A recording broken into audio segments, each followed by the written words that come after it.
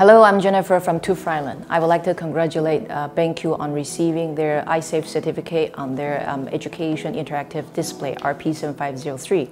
Um, this uh, certification includes um, low blue light and flicker-free.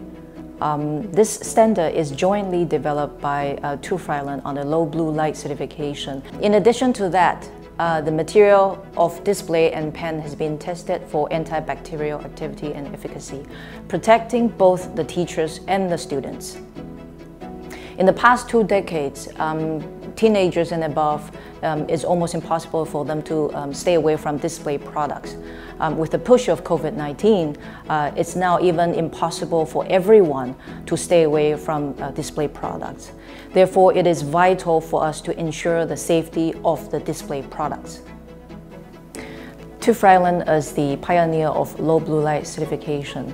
Uh, earlier this year, we launched the new uh, Eyesafe requirement for display product with Eyesafe.